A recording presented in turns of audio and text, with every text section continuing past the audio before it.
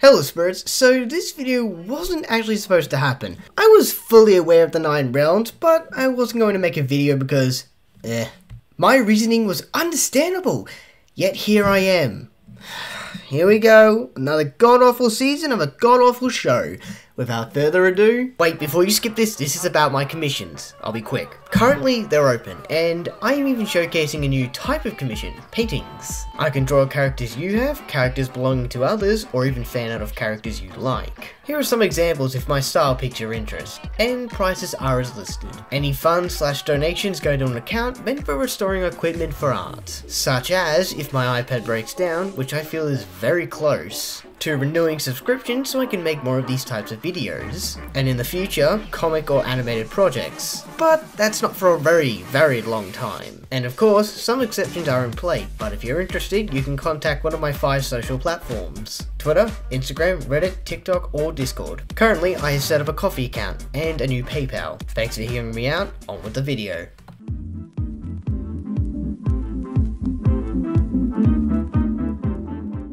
Dragons the Nine Realms is set 1,300 years in the future of the events of the last movie. The show focuses on four kids learning the existence of dragons Tom, June, Alex, and D'Angelo with their new original dragons. They have to hide theirs and other dragons from their parents to avoid them going extinct or used as weapons.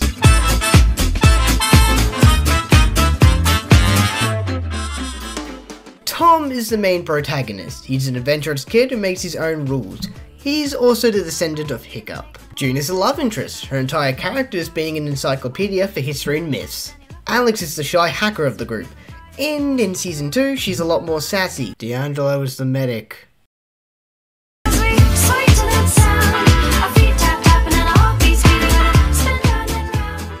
Fans have expressed their anger, including breaking the perfect rating score each show got, and yet DreamWorks didn't listen. Now, if you're new to my channel and didn't see me talk about this show before, I'll give you a quick rundown of why this show is as bad people make it out to be. And so you won't watch that because uh, the audio could have been mixed better and recorded better, don't watch it. The animation in this show is very, well, low budgeted even in the season 2 trailer, you can see that they didn't give the show the proper budget it needed to even thrive. And before you say, but uh, a Spirit show's budgets are supposed to be low, thanks Sherlock, but here's a reverse card for you. Season 1 had 6 episodes, Season 2 had 7. Tell me their excuse for a lower budget show. The writing in this show is also horrendous. There are barely any attempts at humour. The conversations between characters can feel forced. Remember that thing How to Train Your Dragon succeeded in? The bad guys did it better. Fucking hell, this story is the generic hide dragons from people, which is what the first movie did for like an hour, and season 2 has it worse.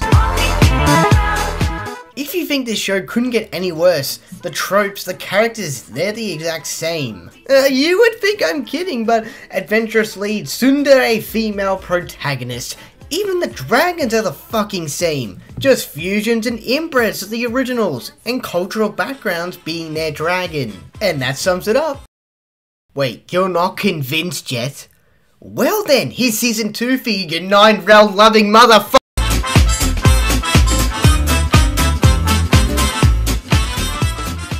Alright, so I left a small segment dedicated to this last time, at least I think, and if I didn't convey that well enough, I will here. My reasoning for seeing it as a disgrace for the new era for animation isn't because its writing is bad or there aren't a lot of jokes, it was because it looks like it was made years ago, like before their other shows. It looks old and well, stiff. Unlike the many shows before and after, they have either amazing animation or something better in comparison where this is newer, company and indie alike. Let's take a few examples, or slash a few personal favourites. In this new era of animation, we've had shows like Arcane, The Owl House, Hell of a Boss, Lackadaisy, and all of them so far have shown amazing works of animation, and all of them falling under the 2020 era of animation. But it doesn't stop there. It's not just their animation that they excel at, it can be writing, it, it can be the story, it can be the characters. But we're still in the age that where, unfortunately, studios didn't get the memo that you actually need to try in your shows. And DreamWorks and their TV shows are a prime example. They do not put effort into their shows, or at the very least, they don't give the teams a big enough budget. Their past shows have joked about this, but DreamWorks doesn't act on it. But that's why I see Nine Realms as a disgrace. They're living in the past while others move on. And with that out of the way, onto the actual show itself. And here you'll see why it's even worse than a disgrace.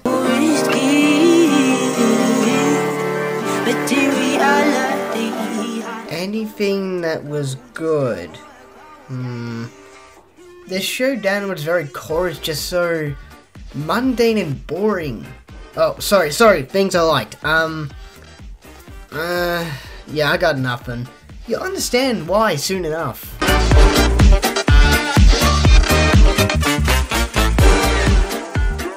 Now, on the surface, there are a lot of visible problems, but underneath it, there are actually a lot more. One to name is something I probably did say in both videos, and that was, this show had a short runtime, but I forgot to add something onto that. You know when shows have little episodes, right? This allows more funding to go directly to the animation, writing and whatnot. And with that, it helps convey a lot of lore, story, without any filler. However, with Nine Realms, they do it far more lazier.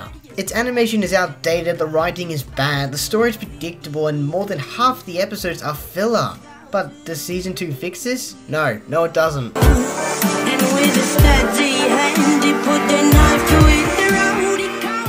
So none of a direct story that involves all of the characters. The last three episodes are the only story driven episodes. Episode 1 is about June finding a unicorn dragon and keeping it. Episode 2 is where Tom's mother almost finds the hidden world while the others block up the entrance. Episode 3 is about zombie looking dragons and Alex overcoming her anxiety. Episode 4 is about a forest fire started by a greedy villain. Episode 5 is about spider dragons, as well as Tom and D'Angelo fighting, but soon making up. And the two-part finale is about finding Thunder, which had a dragon that chases away his family, and then finding an entirely new area to explore. Oh, you, you don't see what I mean. Oh, um, alright. Well, I'll go into depth about one of the episodes then. I didn't go into full detail because I hate this show, and something I left out was in the first episode, Tom is experiencing trauma from fighting the Vault Ripper. Regardless of his adventures, he came close to death fighting a creature no one's seen in 1,300 years. They couldn't have fucked it up, right? I kid you not, all it took was a single response from June that he's been thinking about it all day. A single line fixes his trauma in a snap. Stranger Things handles this better. As you just heard from that, that was originally what I was going to go with. Only you want to know what the problem was? I came to discover he was more guilty about shooting it in the face. I I'm sorry, that's what gave him nightmares. Guess the little Tom response to June makes sense. It's fucking pathetic.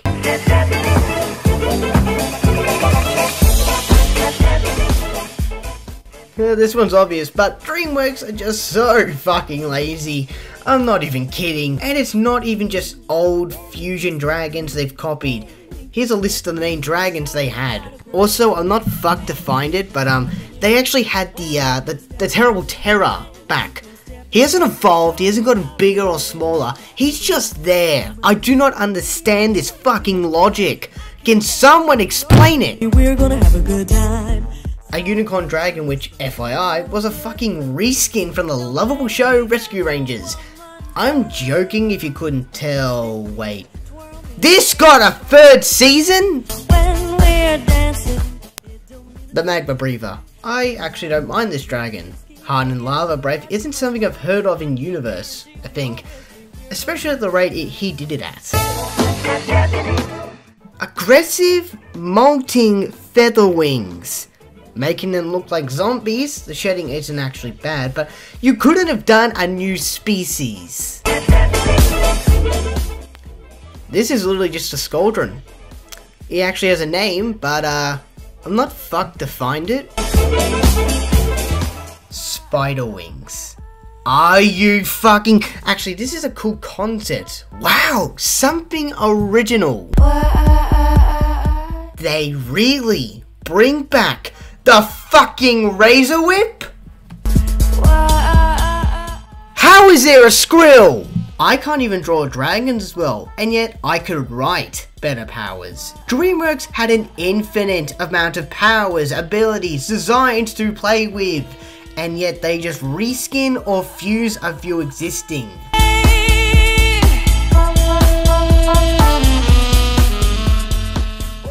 Uh, what's next? Oh, right! Just when you thought they were done, they pulled Bugs Life's worst mistake. But they did it worse. The well-loved lie trope. For a little context, old chum, episode 5, 6, and 7 had the, I'm not even kidding, had the worst case of this trope, which for some reason pisses off this cast of characters. Hey, do you want to know the lie? The dark, terrible secret! Tom lied about his connection to Thunder and the helmet. Yeah, I'm sorry, what are you fucking morons mad about? DreamWorks literally just said that friends don't keep secrets. Can't keep secrets. Whiskey, baby, I sure had too much wine. I can guarantee when you're with me, we're gonna have. Jesus Christ, man. Jesus Christ.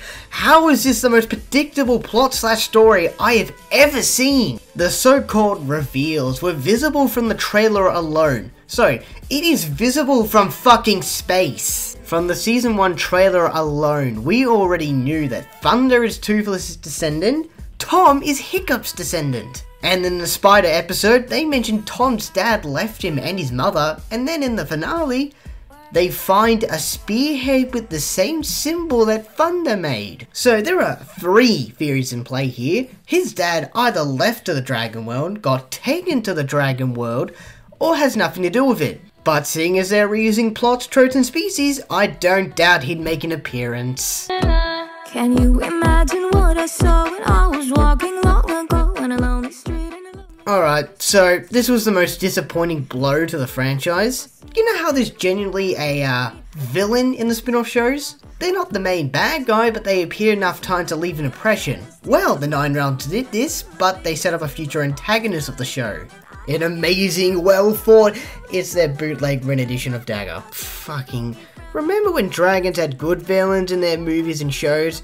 Yeah, this is Leonard. Oh, oh, I'm sorry, what am I saying?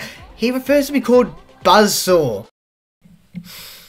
Fucking what? Wanna know his character? He's basically someone who cuts down trees, plain stupid, and he sees a Thunderbird, then swears revenge.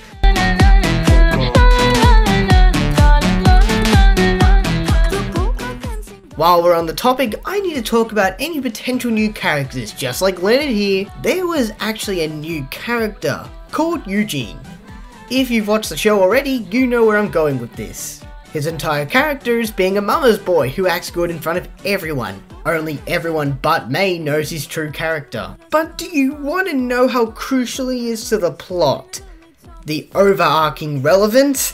If he didn't exist, nothing would change. He is literally just filler. This just shows how the writing holds up. Want to know what I'm talking about next? Were moving the beat, long, his It is somehow even worse than the first season. I still can't tell if there are any jokes in this show, because for some reason, this is the quality funny. Who'd throw away a perfectly good sneaker? Linda. And that's not even the worst of it. There are no emotional moments, no scenes that reflect on the characters. Remember when Stoick fucking disowned Hiccup? You're not my son. Ready to shift!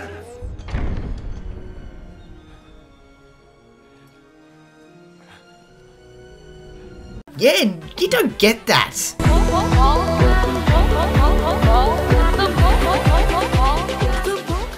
And let's end on a high note.